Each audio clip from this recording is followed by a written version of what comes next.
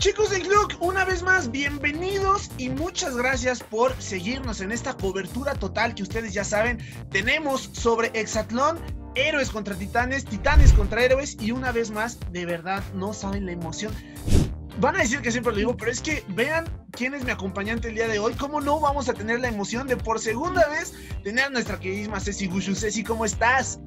Bien, muy contenta. Me encanta estar aquí, me encanta que me invites. Yo de verdad disfruto muchísimo platicar contigo. Y pues ya me, cuando me, me invitaste me súper emocioné de nuevo.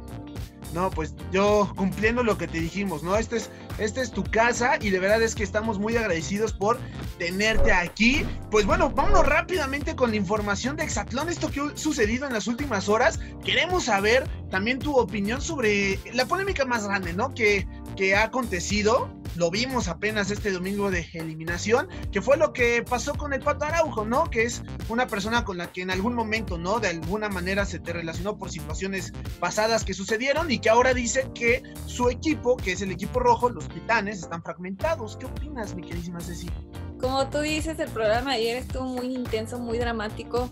Eh, ese comentario que, que lo dices, mira, yo voy a tratar de ser neutral porque al final yo quedé bien con Pato, a pesar de lo que haya pasado, quedamos bien, lo pudimos platicar y resolver, entonces no es como que me caiga mal, ¿sabes? Pero lo que yo vi ayer, creo que hay dos puntos muy importantes que se debieron de haber tocado. Por un lado, siento que Pato sí tenía un buen argumento al momento de decir de que él es el más alto de los hombres en la tabla, entonces creo que sí se merecía pues como eh, salvarse de esta eliminación. Sin embargo, creo que los argumentos que usó no le ayudaban muchísimo. Creo que debió de haberlo comentado de un punto totalmente diferente porque lo único que hizo fue echarse al equipo encima.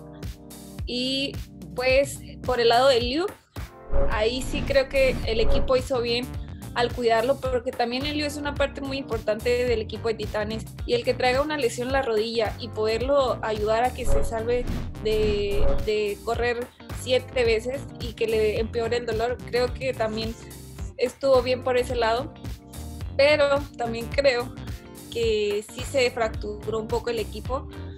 En la manera en que lo trataron, la mitad de acá y la mitad de acá eh, estuvo súper mal. Creo que lo debieron de haber de diferente situación, ser más neutral y no exponer al equipo como se expuso.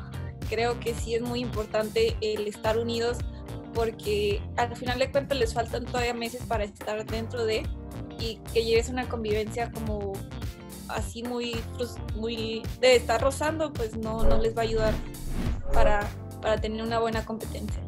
Sí, porque sobre todo, como bien mencionas, pues todavía falta, ¿no? Falta más tiempo dentro dentro de esta competencia de programa, de este reality. Entonces, pues vamos a ver muchísimas más sorpresas y emociones, como bien lo mencionas. Y dentro de lo que sucedió, justamente de lo que estamos platicando, también, por supuesto, se esperaba que hubiera reacciones en redes sociales. Y por ahí surgió la de Gloria Murillo, que es una ex competidora también de su equipo, del equipo rojo, en la cual también mencionó de que algunos eh, participantes en su momento, tal vez por liderazgo que algunos tomaban dentro de, ese equipo, pues no tenían mucha voz, ¿no?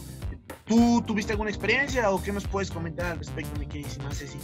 Sí entiendo lo que comentó ella, porque sí es cierto, sí pasa. Yo, por ejemplo, en mi equipo nunca sucedió tal cual así, tan drástico, pero sí teníamos como cierto respeto hacia, como había jerarquía, ¿no? De que los que éramos nuevos, pues como que no damos tanta opinión porque no sabíamos cómo se manejaban las cosas. Entonces no dudo que haya pasado allá en Titanes, más cuando son personas que son todavía más competitivos, que no les gusta perder, que no saben perder. A veces también pues les falla un poquito por ahí el saber ganar. Entonces yo creo que Gloria pues sí sabe, sabe de lo que habla. Ella que lo vivió más en carne propia estando en el equipo, a veces nosotros no sabíamos si ellos tenían algún, alguna diferencia y ahora que estás, estoy aquí afuera y que estoy viendo todo lo que pasa en ambos equipos, te das cuenta de que, wow, o sea, también del otro lado tienen problemas y puede estar muy, muy fracturada la relación, pero pues uno no se da cuenta en el momento. Claro, claro, pero bueno, ya dejemos al lado un poquito toda esta polémica y esta situación de momentos tensos que se están viviendo y vámonos con la alegría y la felicidad de que podemos tan tan tan ver a Ceci Gushu de regreso en Exatlón. ¡Qué emoción nos está dando! De verdad, qué emoción en este momento. ¡Pum!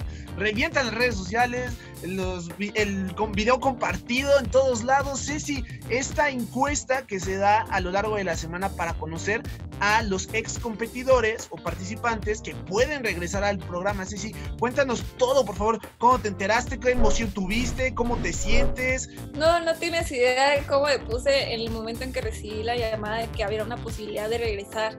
Me súper emocioné, no dejaba de brincar, de gritar, estaba súper emocionada y muy feliz. Y más porque yo tenía la, la, mentalidad de que podía regresar, pero no sabía que tan pronto y menos en, en mi misma temporada donde me novateé. Entonces sí es como que una alegría el poder tener esta oportunidad que todavía no es un hecho. Se requiere pues el, el, la respuesta de todo el público y, y por eso estamos aquí, ¿no?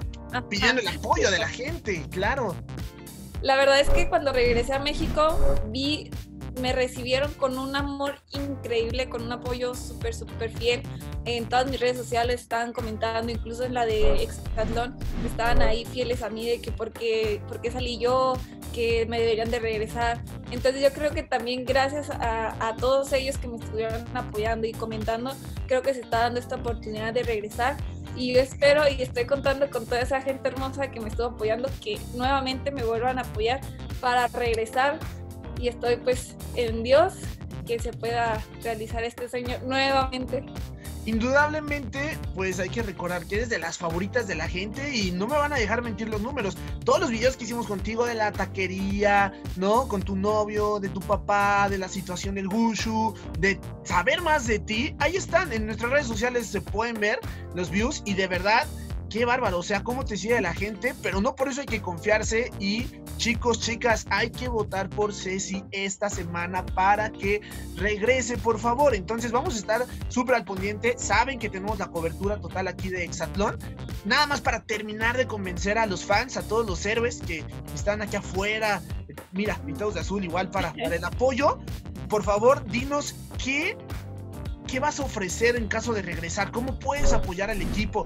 Sí, como tú dices, pues hay que aportar lo más posible y ahora que estoy afuera, pues estoy analizando un poquito más la situación de cómo se ven las estrategias, de qué se puede mejorar en cada circuito, el poder analizar a cada uno de los integrantes, ya sea rojo o azul, y ahí ya les, si de por sí dentro de la competencia ya estaba trataba de observar qué me podía beneficiar en cada circuito, ahorita lo hago mucho más y más que ya cambiaron algunos, que ya pusieron obstáculos nuevos, el apartar lo más posible al equipo. A mí me gusta irme, no me importa con quién voy, si con alguien que es como el más débil o el más fuerte, no me importa. Así que yo le aportaría muchísimo al equipo. Ahora tengo una gran responsabilidad de que ya, ya me gané, como quien dice, mi, mi lugar. Ahora tengo que defenderlo. Ya no puedo irme para abajo, tengo que seguir entrenando más duro para poder representar orgullosamente al bucho mexicano y pues a los héroes también. Eso, perfecto, mi queridísima Ceci. Pues muchas gracias, de verdad, muchas, muchas gracias. Vamos a hacer viral todo el contenido para que estés de regreso, mi queridísima Ceci Gushu. Y nada, para finalizar, por favor, si nos puedes recordar tus redes sociales para que te sigan, para que estén al pendiente y pues obviamente recordar a la gente que aquí tenemos en Gluck MX la cobertura total de Exatlón. Claro que sí, me encuentran en TikTok, en Facebook, en Instagram y en YouTube como Ceci Gushu.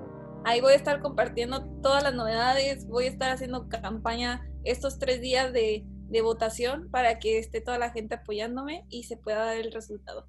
Perfecto, pues muchísimas gracias Ceci y toda la buena vibra del mundo. Muchas gracias a ti, que tengas buen día. Gracias.